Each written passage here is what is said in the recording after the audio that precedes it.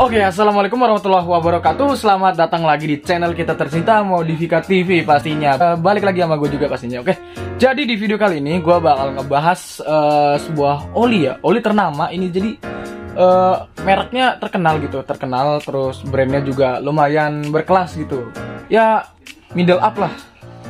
Tapi gue bingungnya ya, ini follow up dari konten gue kemarin di TikTok. Ternyata banyak banget yang belum tahu oli yang satu ini nih. Nah, olinya apa kira-kira? Oke, ini dia langsung gue spill barangnya. Nah, oli Ipon. Nah, gue nggak tahu nih nyebutnya yang bener di, gimana nih. Kalau yang tahu langsung komentar di bawah. Nyebutnya itu Ipon, iPhone atau gimana? Oke, gue nyebutnya Ipon aja. Jadi si oli Ipon ini nih banyak yang nggak tahu. Terus rasanya gimana tuh kalau misalkan dipasang ke motor? Eh dipasang, dipakai ke motor.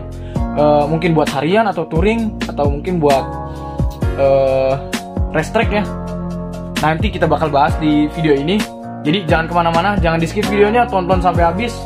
Jangan di skip skip. Oke langsung aja kita ke pembahasannya. Nah ini dia ya buat oli uh, Ipon yang tadi gue bilang nih.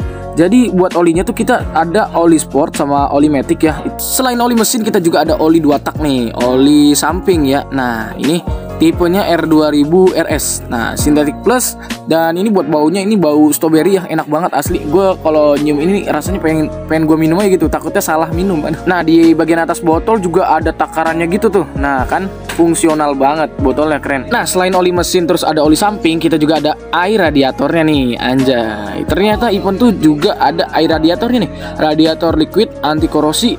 Nah, ini buat takarannya masih sama 1 liter, yang lain juga for info ya. iPhone itu dia takarannya selalu satu liter nih buat semuanya. Oke, jadi yang kita mau bahas nih bukan air radiator sama oli samping tapi dua oli ini nih yang mau kita bahas nih, si R4000 RS sama Scott ya. Nah, yang pertama di sini yang R4000 RS ini biasanya dipakai buat motor sport ya, 10 W40. Ini udah sintetik plus ya, buat takarannya 1 liter. Nah, di bagian luar kemasannya ini lumayan oke okay lah ya. Ada buat takarannya juga nih. Di bagian belakang di sini ada keterangan pakai beberapa bahasa dunia nih, anjay keren banget. Ah, tapi sebenarnya ini oli dipakai ke motor metik juga bisa-bisa aja sih. Malahan banyak yang bilang katanya lebih enak pakai yang R4000 RS ini nih. Nah, oke, okay, yang R4000 RS segitu aja. Sekarang kita bahas yang Scott 4 nih. Nah, kalau yang Scott 4 ini dia biasanya dipakai ke motor Matic 10W 40 juga sama. Takarannya masih sama 1 liter tapi kalau biasanya di motul itu ya kalau yang buat Matic dia eh, takarannya lebih dikit ya. Ada 800 mili kalau nggak salah. Nah, buat desain packagingnya masih sama ya, cuma beda-beda dikit nih sama warnanya di sini ya. Oke, beres. Sekarang kita bahas keunggulannya apa apa aja nih? Nah, kita dari testimoni customer aja deh. Buat oli ipon ini emang terbukti ya buat akselerasi itu jadi lebih enteng. Nah, jadi buat kualitasnya itu ya lumayan bagus lah ya. Nah, kalau dibandingin sama oli motul, ini ada di atasnya sedikit karena ya soal harganya juga beda. Nah, selain bikin mesin jadi lebih enteng, ini oli ya bisa bikin komponen dalaman mesin itu jadi lebih awet. Mesinnya suhunya juga tetap terjaga gitu ya, nggak nggak cepet panas. Nah, performa terbaiknya itu biasanya ada di bawah 1500 km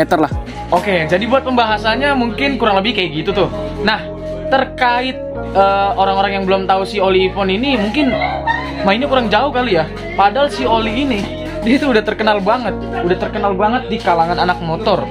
Ya, mungkin kalau ya bapak-bapak yang biasa pakai buat kerja-kerja doang gitu ya. Ya, mungkin pakainya sel aja deh. Itu udah paling worth it sih. Tapi kalau yang ini beda. Ini beda. Oke. Okay seperti biasa, uh, sebagai penutupan, uh, jangan lupa like, comment, dan share pada teman-teman lo semua supaya mereka juga tahu.